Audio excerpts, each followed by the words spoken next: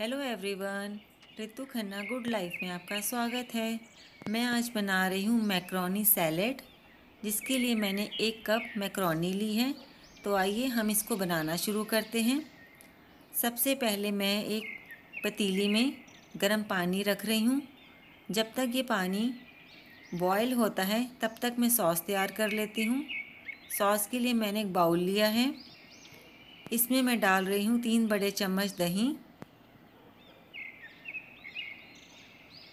आप अपनी पसंद के अनुसार ज़्यादा भी ले सकते हैं। साथ में म्योनीस आप इसे चाहें तो स्किप भी कर सकते हैं। मैं एक बड़ा चम्मच इसमें म्योनीस का डाल रही हूँ। आप बिना म्योनीस के भी बना सकते हैं।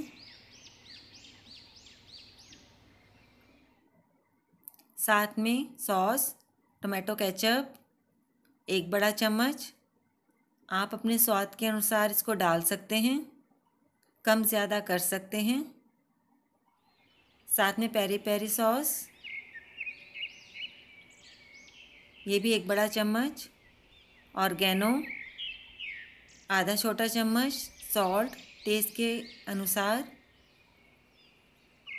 इन सारी चीज़ों को अब हम अच्छे से मिक्स कर लेंगे। हमने इनको मिक्स कर लिया है।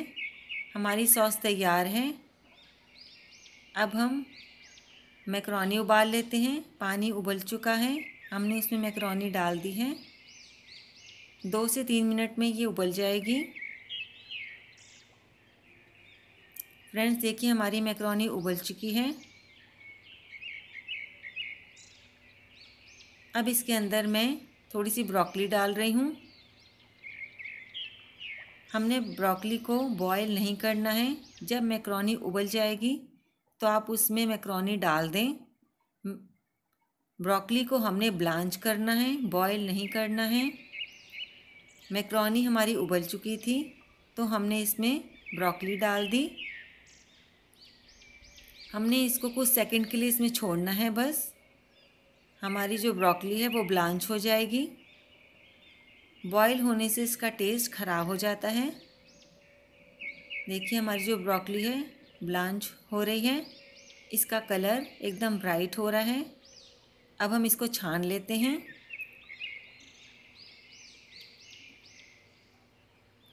अब मैं इसके ऊपर डाल रही हूँ थोड़ा सा ठंडा पानी, जिससे इसका स्टार्च निकल जाएगा।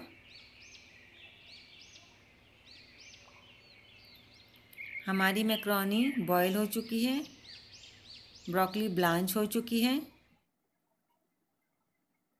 फ्रेंड्स, हमने मैक्रोनी को बॉईल करके बाउल में डाल दिया है, साथ में ब्रोकली को ब्लांच कर लिया है। अब मैं इसमें कुछ सब्ज़ियाँ मिक्स करूँगी। मेरे पास कुछ सब्ज़ियाँ रखी थी जिनको मैंने काट लिया है। आप अपनी पसंद के अनुसार कुछ भी डाल सकते हैं। मैं इसमें डाल रही हूँ green capsicum, yellow capsicum, carrot, खीरा, टमाटर, रेड कैप्सिकम,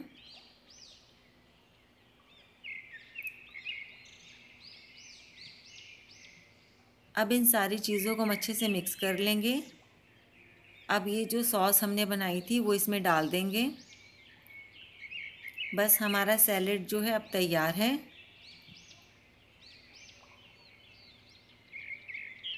साथ में मैं इसमें डालूँगी थोड़ी सी काली मिर्च। सॉस आप अपनी पसंद के अनुसार बना सकते हैं।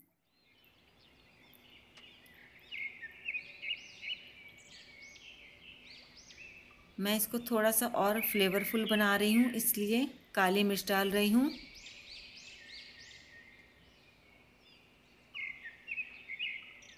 मुझे थोड़ा स्पाइसी खाना है तो इसलिए मैं इसमें थोड़ी सी सॉस और मिक्स करूँगी।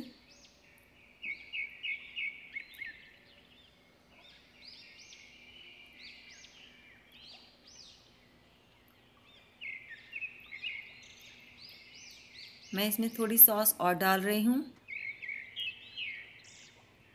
आप अपनी पसंद के अनुसार सॉस बना सकते हैं। साथ में मस्टर्ड ये भी ऑप्शनल है। अब इन सारी चीज़ों को हम अच्छे से मिक्स कर लेंगे। फ्रेंड्स ये एक बहुत ही अच्छा सैलड है। आप इसको लंच और डिनर में तो खा ही सकते हैं। ये एक बहुत अच्छा स्नैक भी है। तो हमारा जो सैलड है वो तैयार है। हमने इसको अच्छे से मिक्स कर लिया है।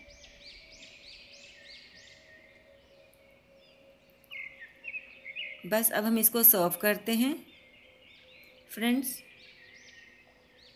ये मेरा आज का जो लंच है, ये रेडी है और बहुत कलरफुल है। आपको ये रेसिपी अच्छी लगी होगी, ऐसी आशा करती हूँ। Thank you tasty